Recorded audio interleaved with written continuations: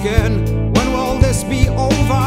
And when will I get over it? The pain I feel inside, the pain that's second nature.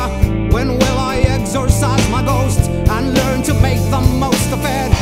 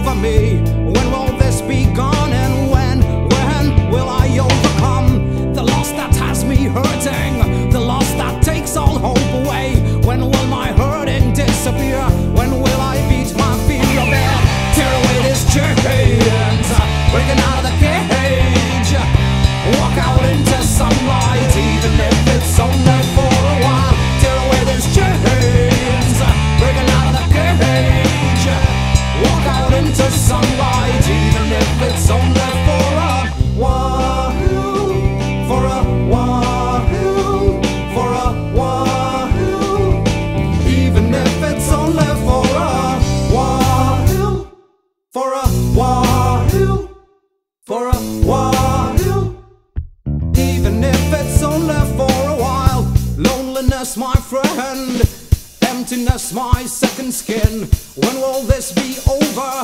And when will I get over it? The pain I feel inside, the pain that's second nature. When will I exorcise my ghost and learn to make